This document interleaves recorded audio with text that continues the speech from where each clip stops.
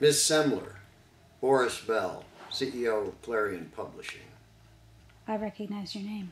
And yet today is the first day I'm hearing yours. Miss Sandler is prepared to write and publish a letter of apology. I'm sorry I left the barn door open and all the horses ran off.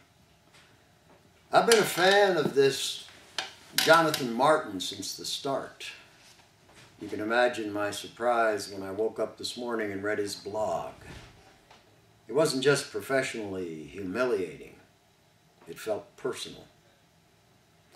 My first instinct was to see to it that you were never published again, and then the response to your column started coming in.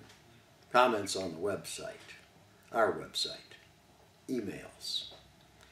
People are cheering for you. They understand why you did what you did. They're saying to themselves, if it had been me, I would have done the same thing. I went back and reread it, and I have to say, as big a fan as I am of Jonathan Martin, I think Susan Semler is the real deal. What exactly are you saying? I'm prepared to offer you a very healthy three year contract to stay on as columnist under one condition use your own name.